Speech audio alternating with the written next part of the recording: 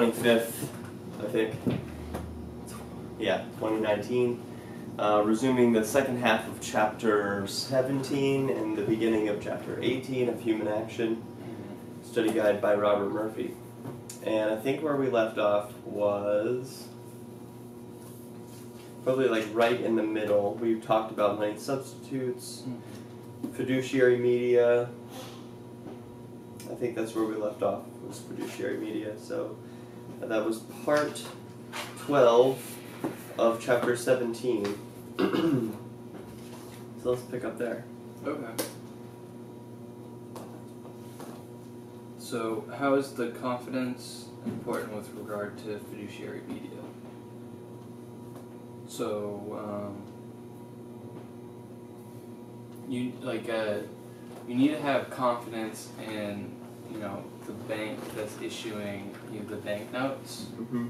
and I thought it was really interesting how um, he showed that the government kind of like so without like the government insurance on banks, then it was up to the consumer to know what the good banks are and trust that. But since uh, since the government got involved, then it led to people, you know, just having faith in every single bank now, which led to like the expansion of credit in the money supply. Uh, right. Yeah. So that's like a Every bank is creditworthy if it's all backed somehow. right. If they're all like FDIC insured and stuff, Right. so then everyone just has complete confidence in all notes, which leads to you know the expansion of them if people just have complete confidence. That makes sense. So it'll be interesting if we ever go away from that system. Let's say a, a Bitcoin system. Salt lending. They're not. FDIC insured. hmm So it's up to so there'll be a lot of failures. There'll be a lot of people that lose money because they're going with bad banks. Yeah. Well, hopefully they are smart enough to collateralize any um, Mhm. credit that they extend. Hmm And then with the changing prices of Bitcoin, sometimes they say, "Hey, you got to cough up more Yeah. uh, in order to cover this loan," or Mhm. But it's a huge cultural shift. Like, think about the people that are in their 40s and 50s, and all their life they've been taught this way. They like that's how they've been living. that there's endless credit. There's endless credit and everything. Like, you don't have to like do your dil- due diligence on a bank or anything that. So like, we have this whole generation of people, well, multiple generations of people that don't really understand how like a capitalist like banking system would work. Mm-hmm. Well, it's exciting. I think uh, capitalist banking is still relatively new in the span of human history, and so we've only been without it for just a blink of an, an eye. hmm Um, But that's everyone's lifetime. yeah, right. That, that'll that'll be it'll be good to to go uh, experience it again. What is the main argument for each independent bank to issue its own notes? So I, I think I kind of jumped the gun on that. So that so it's just getting to that point. Like you know, the best banks are going to produce the best notes. People are going to go to the best banks. I think that's what I'd say. Not only that, I think that it's better for the whole system because it helps consumers identify good from bad Mhm. uh, rather than socializing the um, negative consequences of um, a bad bank existing among good ones. And um, no good bank will do business or have a, a business relationship with another bank that's not of high quality if they're all independent right. you, you would refuse to do business with a like uh, XYZ bank that has a really bad history. Mhm. What were the consequences of the laws that compelled banks to keep a reserve in a definite ratio of the total amounts of deposits and of banknotes issued? Uh, as you put earlier, it expanded credit, Mhm. possibly and likely beyond the natural rate. Right. What is necessary to prevent any further credit expansion, according to Mises? Hmm. I think so. You'd, the Federal Reserve would have to stop setting interest rates. I think that they'd have to let the market settle on an interest rate. Mm. So they're really low right now. But perhaps you know, the, like if it was up to the market, the rate would be really high, and there'd be a lot less credit out there. So I, I that's my guess. I don't really remember Mm. the solution. Fair enough. I think it makes sense. You know, you so if you want zero credit, you make the interest rates incredibly high.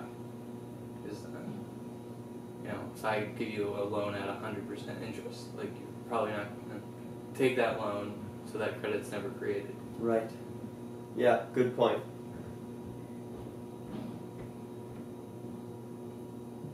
Why do governments profit from using the printing press?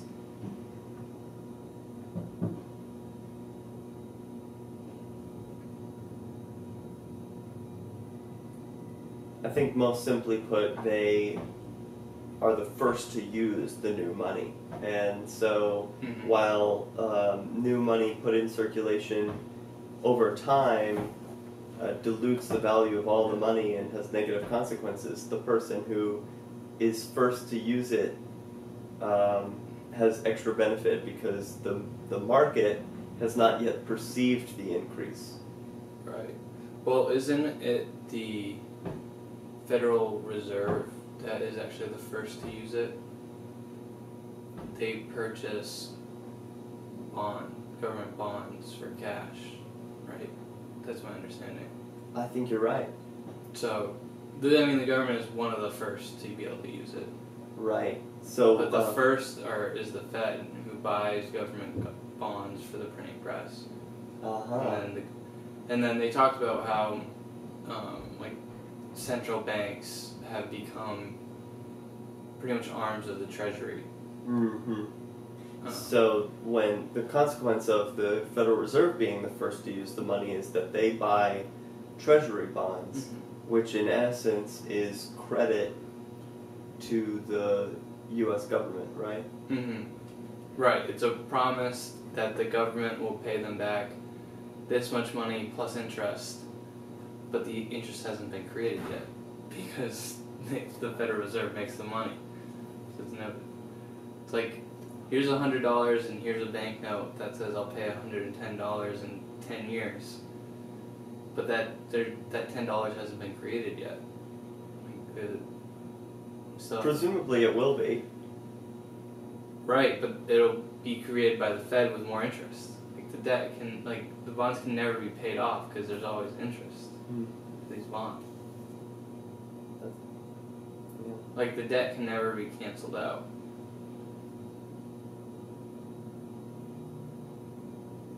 Playing devil's advocate here, and I don't have a full understanding of the situation. What um, would prevent the new capital from being cre- like the new wealth? Wealth can be created, right? So. But dollars can't. So hmm. The loan is That's a good in point. dollars. okay. All right. I The see. dollars come from one place, the central bank. Right. So let's pretend there's zero dollars in the economy, and they issue the first bond for a hundred dollars. So there's the first bond, and then that bond says, ten years from now we'll pay you back hundred ten dollars. There's only hundred dollars in the economy, so the only way to pay back that hundred is to print more money or to have this credit expansion. Oh no, that's a, this is a terrible idea. yeah, it's so dumb. Hmm.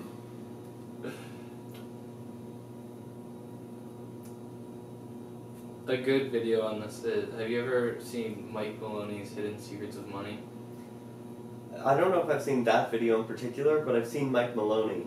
Yeah, he has like a, a 10 part series. I think number four goes through the loop of how a dollar's like the life cycle of a dollar Mm. and how it's created, and it goes through like all those different different steps with good animations. I would really like to rewatch that. Yeah, I watch it like once every six months. Cool.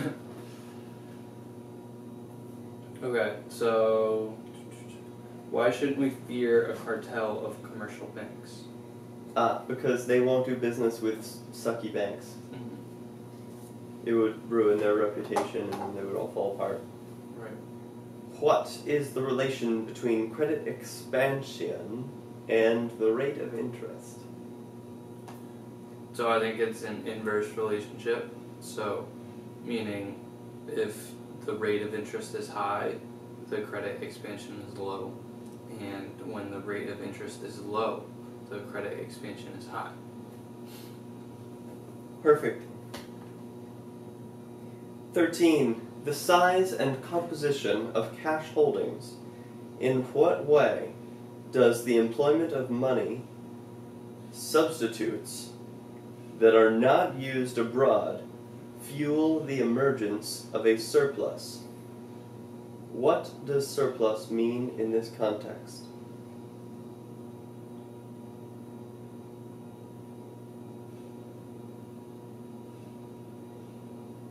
So I think this they're talking about the surplus of money or the surplus of cash. I believe. In what way does the employment of money substitutes that are not used abroad fuel the emergence of a surplus? What does a surplus mean in this context? So I believe a money substitute is something like a traveler's check, correct? I think it's also something like um, Checkbook money. Where it's not money itself, it's just numbers on a piece of paper, but it's just as good as money.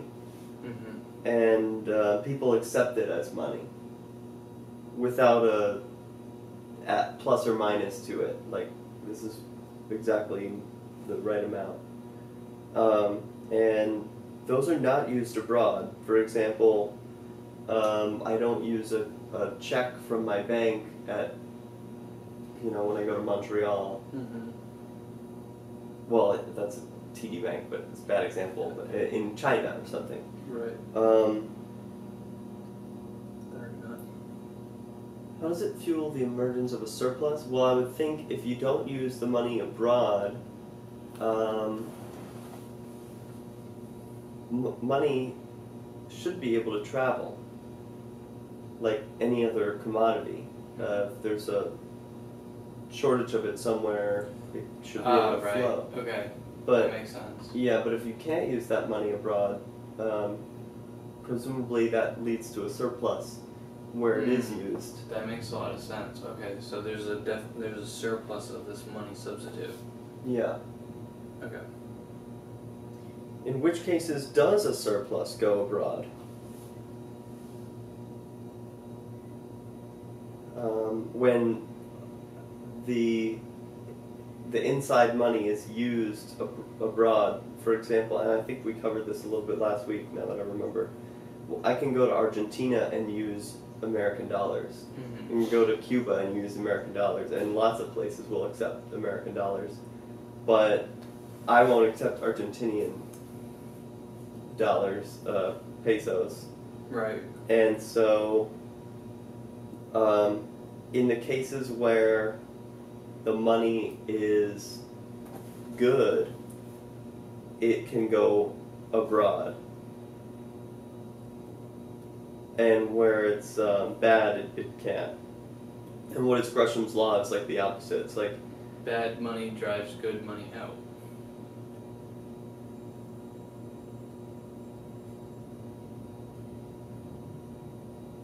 That, that was an interesting quote. Yeah, can you explain that?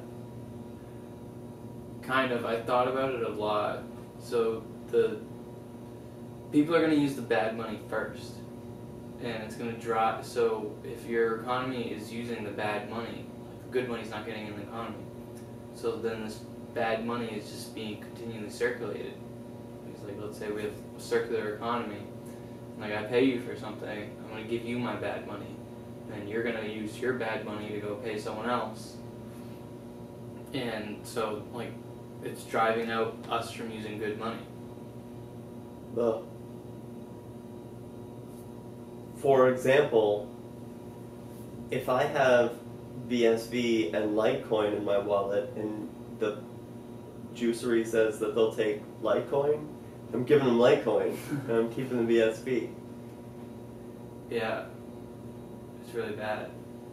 Yeah, and that is bad because then they'll have stupid bad money. And what are they supposed to do with it? I guess they they want it.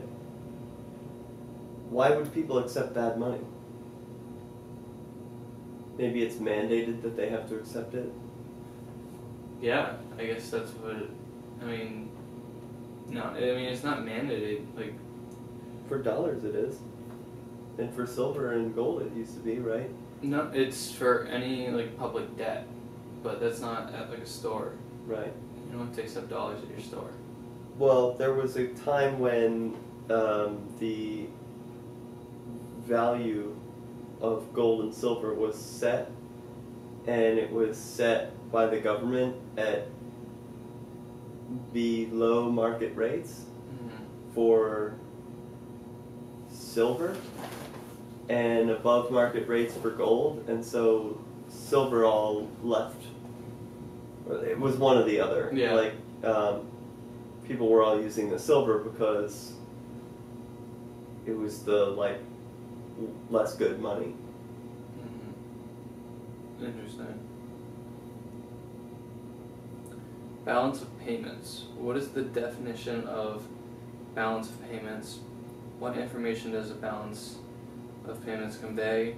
In what ways is the size of the group under consideration important?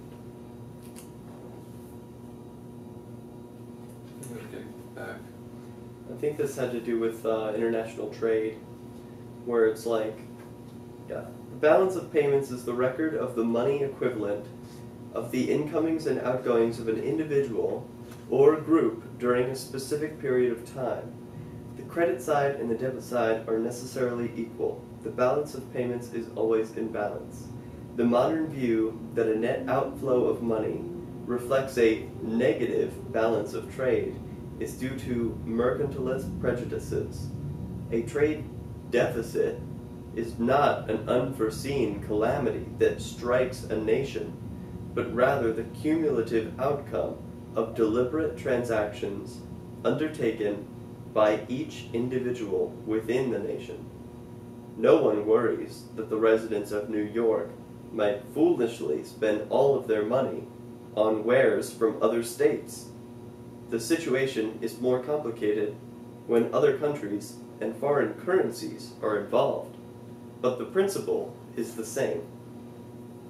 So I think it's like China's beating us on trade, you know, like that whole thing is uh, is ridiculous because just because I want to buy something from China, from a person in China, I'm one person, they're one person, we're trading. Um, Yeah, we're getting stuff. there's not a negative balance. The modern view that a net outflow of money reflects a negative balance of trade is due to mercantilist prejudices. It's the cumulative outcome of deliberate transactions undertaken. Yeah, so I mean, it's there's no deficit involved here. It's just trading. What information does a balance of payments convey? Um, who wants who's trading with one another? How many uh, incomings and outgoings of money equivalents during a specific period of time? You know, what way is the size of the group under consideration important? Well, if you're talking about a person, or a state, or a country, you know, you can have all different sizes of measuring the balance of payment. You know, me and this one guy in China versus everyone in America and everyone in China. Yeah, and it's most of the time it doesn't really make sense. It's all individuals making individual trades. Yeah, I think you could take a reasonable snapshot at any point. Okay. Cruising right along. Interlocal exchange rates. Comment. As a rule, commodities move only in one direction. but money is shipped now this way, now that. Oh, that's, that's why is that a question? I think that was a comment. Maybe they want us to talk about it. I think maybe it's just setting up for some of these questions. Okay. Ah, yes. All right. Why does it make no difference whether the cities concerned belong to the same sovereign nation or to different sovereign nations? What is the role of shipping cost within the frame of these transactions? So,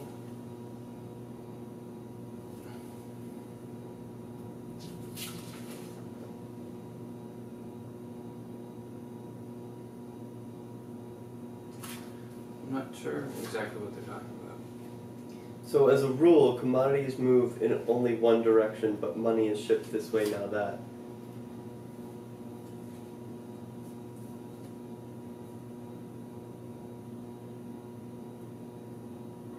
I don't know what that means. Yeah, I, I think that so like what could it mean?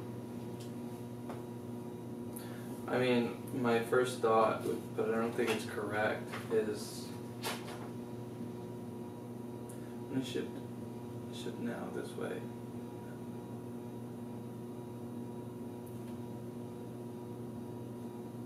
Yeah, I don't really know because it, it it a commodity can move in both directions. I feel like.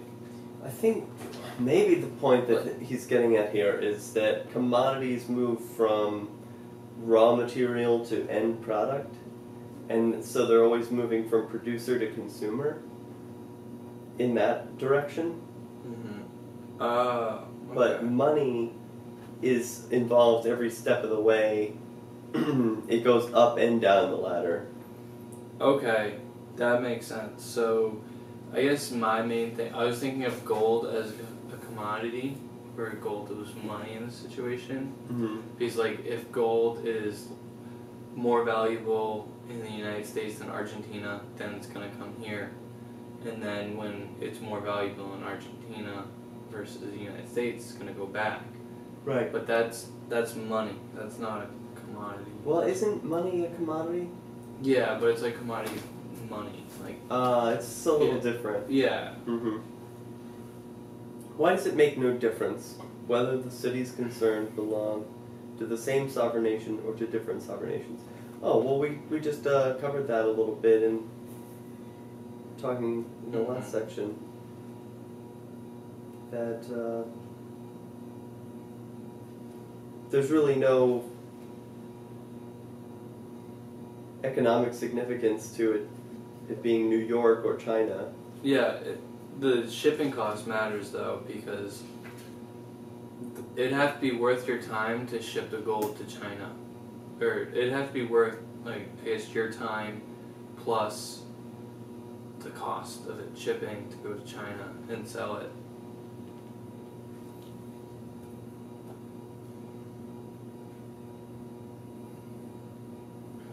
How has the government interference sharpened the difference between domestic payment and payment abroad?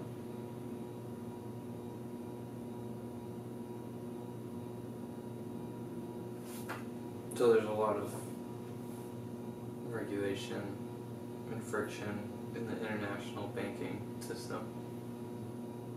I'd say that's it. Uh,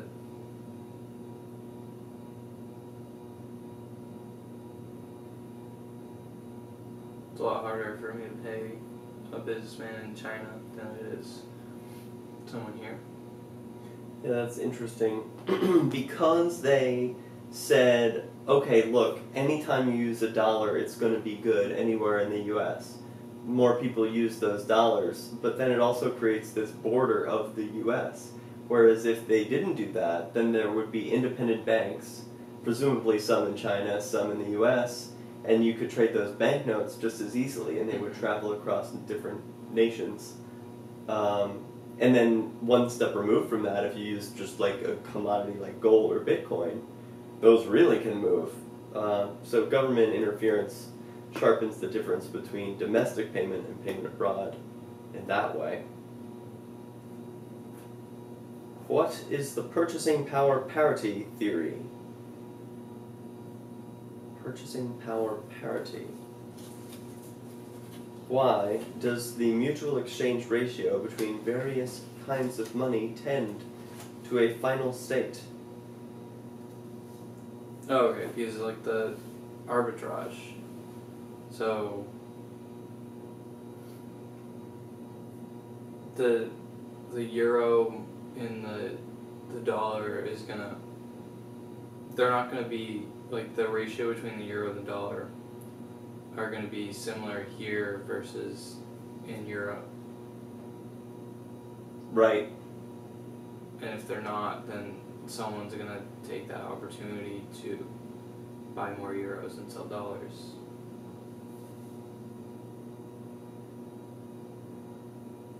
Yep.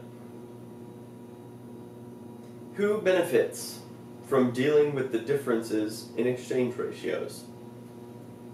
Someone who plays that role of arbitrage. Interest rates and the money relation. What are the causes for differences in the interest rate?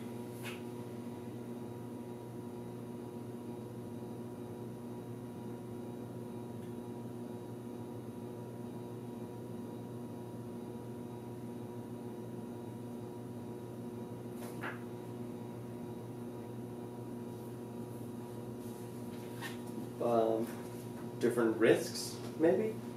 Yeah, it's a short summary. Um, oh, interest rates. I'll just read it all. Please. Credit transactions carried out in the same currency tend to yield the same interest rates for comparable credit risk. When money is borrowed in one currency and lent in another, an investor must take into account not only the difference different interest rates involved, but also the possible change in exchange rates in the life of the loan.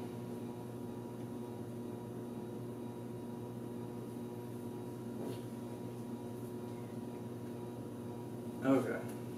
Well, to the to the first question, I say the differences in interest rates are caused by people having different risks. You know, if someone comes to me and they're like, "I'll put up this Lamborghini. I need to borrow ten bucks," I'm like, "Yes, okay, that's fine. I'll take that risk." yeah. They're like, "I've never made a dollar in my life, and I want a million bucks." I'm like, no, Mm-hmm. uh, your interest rate is going to be way higher. Um, why is it impossible if A and B are both under the same standard for the banks of A to expand credit if those of B do not apply the same policies?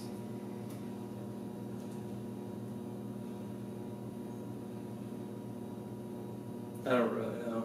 I know. It's because, say you're a bank A and I'm a bank B, and bank A extends you credit, and you write me a check. I'm gonna go cash that check right away because I'm at bank B. Mm. I don't know that that's any good. And Oh, then okay.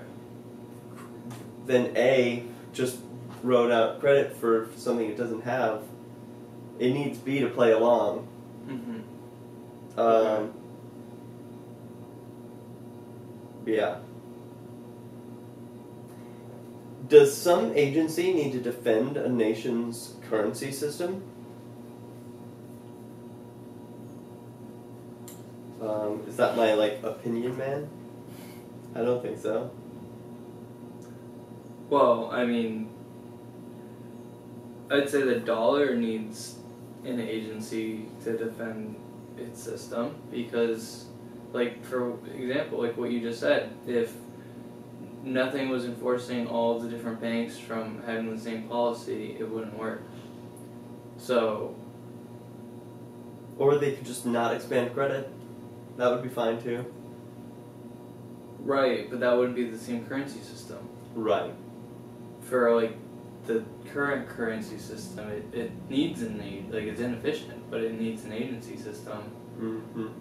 Because if not everyone plays sticks to the protocol, it doesn't work. I guess you're right. Yeah, it does need a, uh, an agency to defend the, the nation's currency system. Can the market rate of interest be permanently lowered by credit expansion?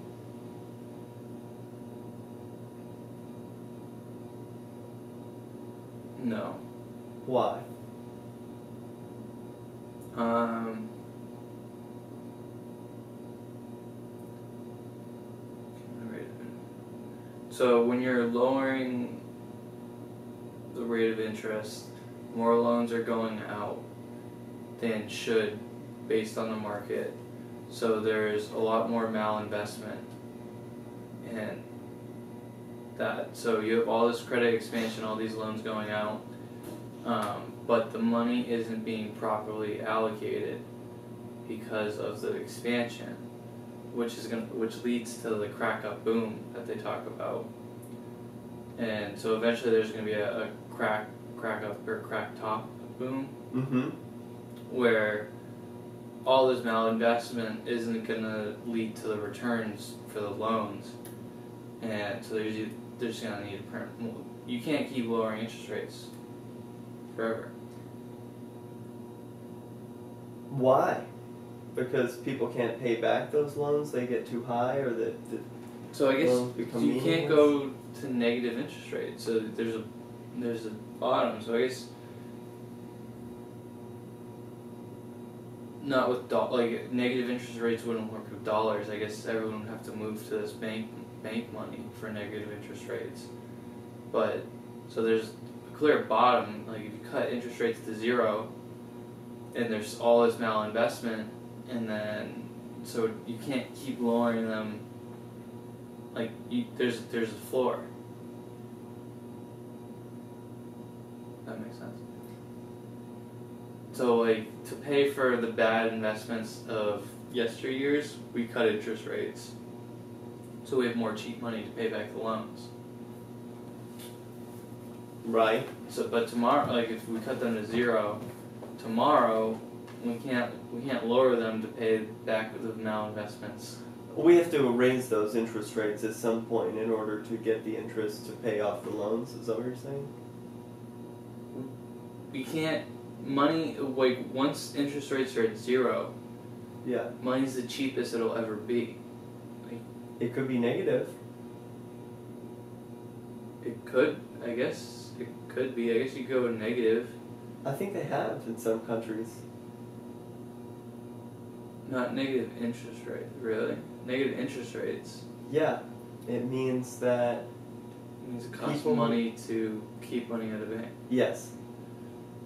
Yeah, I guess you could do that, but then so even then you you can't go to you can't go past negative hundred.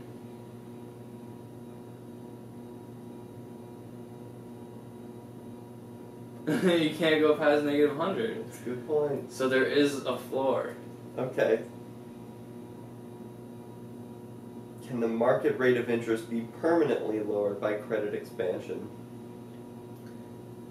I, I don't exactly know. I still don't think I've gotten to the exact answer to this question, but I feel like the answer is no. It just doesn't seem right. You have the market rate of interest will come back up. Yeah, because then you would have infinite credit expansion, and that would lead to It can't last. yeah. What is the only means of keeping a local and national currency permanently at par with gold and foreign exchange? Say like hundred percent reserves. That would make sense. In that case, um, there would be no reason to prefer local or national currency or gold or foreign money. It's all the same. One isn't um, artificially cheaper. Right. Secondary media of exchange. What are secondary media of exchange? I'm gonna look it up. I think it's a short one.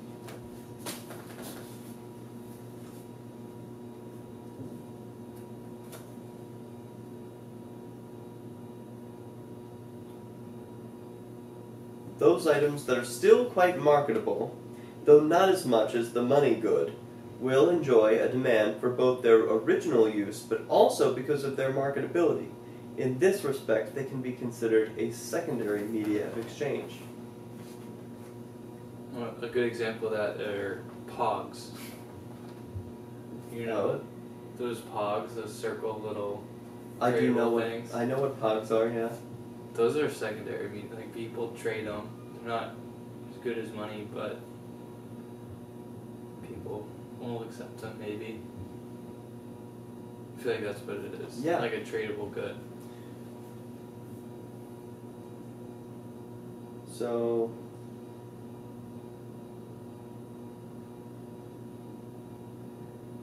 So the fact that one or more media of exchange have risen to the status of money does not eliminate the differences in marketing marketability among remaining goods. So even though like okay, gold became money, but pogs are still also they're a secondary media of exchange. They're not as they're not the money, Mm-hmm. but they're also good.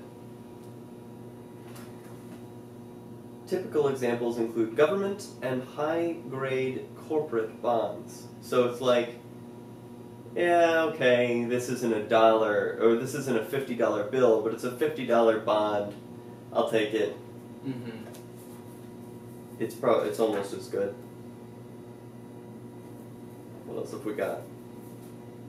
What are the most popular secondary media of exchange? Just answered. What is meant by hot money? What is its significance? Gosh, I don't know. Yeah. Me see. See if I can find it.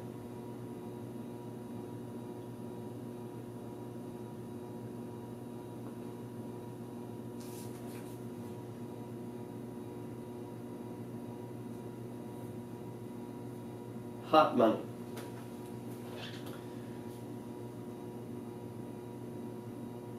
The governments of almost all countries are engaged in a campaign against the capitalists. They are intent upon expropriating them by means of taxation and monetary measures. The capitalists are eager to protect their property by keeping a part of their funds liquid in order to evade confiscatory measures in time. They keep balances with the banks of those countries in which the danger of confiscation or currency devaluation is for the moment less than in other countries. As soon as the prospects change, they transfer their balances into countries which temporarily seem to offer more security. It is these funds which people have in mind when speaking of hot money. Okay. The significance of hot money for the constellation of monetary something affairs is the outcome of the one reserve system.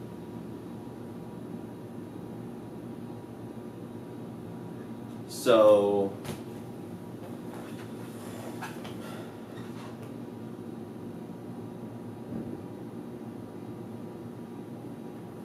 hot money is liquid money that people keep on hand to move around so that it's not confiscated. Mm-hmm. That's kind of what I got. I can't think of a example that I'm familiar with.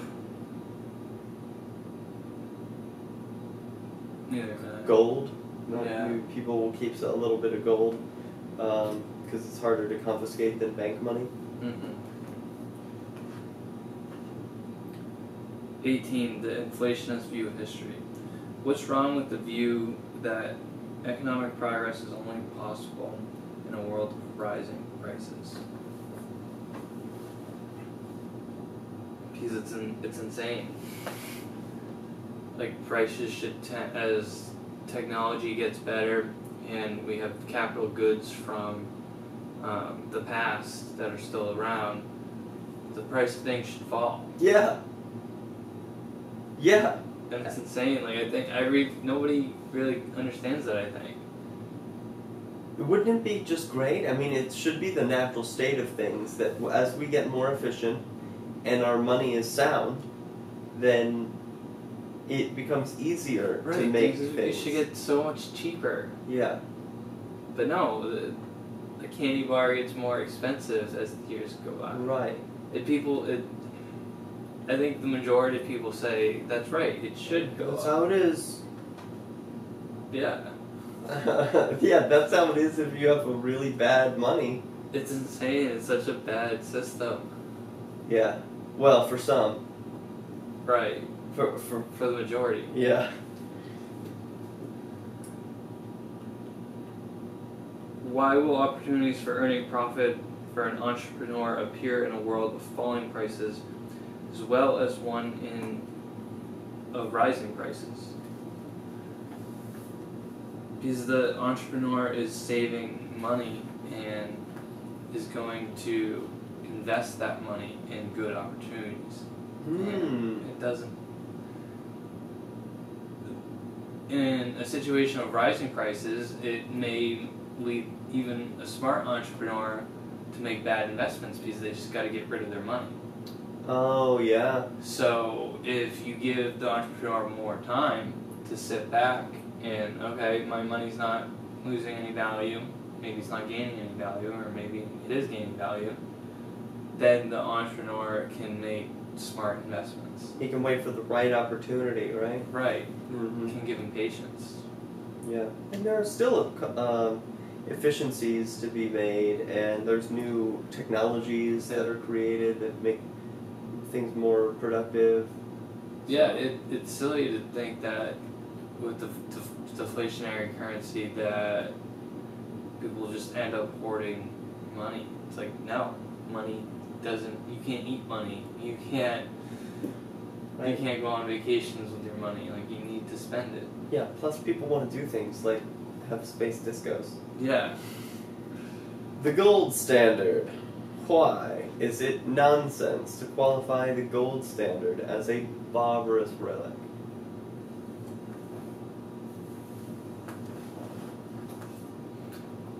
Um. I don't know.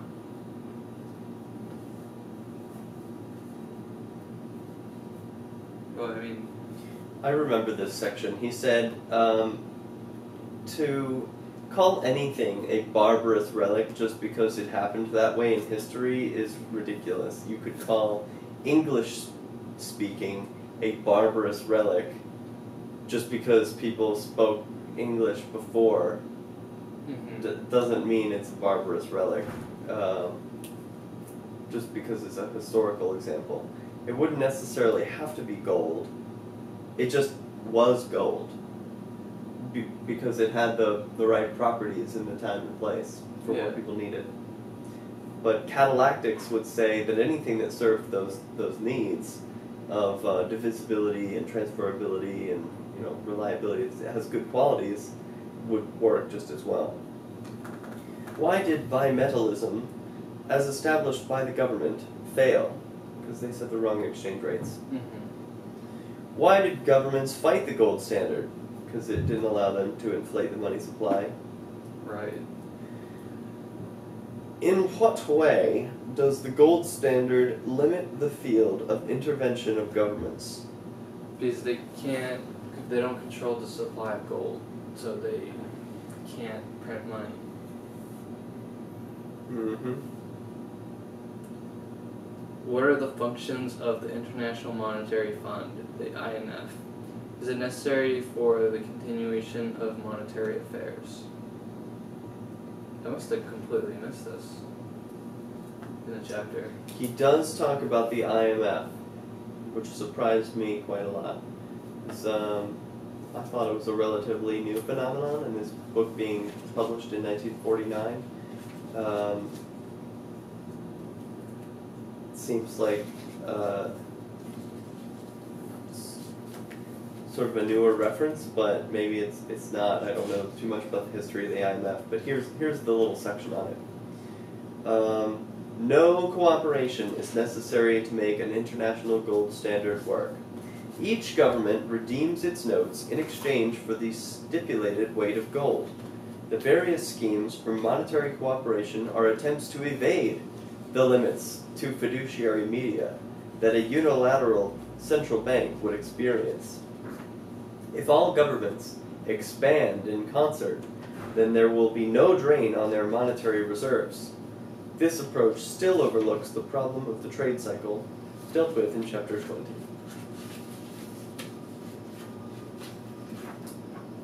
Anything else about the IMF here? No. Um, so, what can we say in answer to that question? Um, I think that answered it. Well, it didn't say one of the functions of the IMF. I really don't know.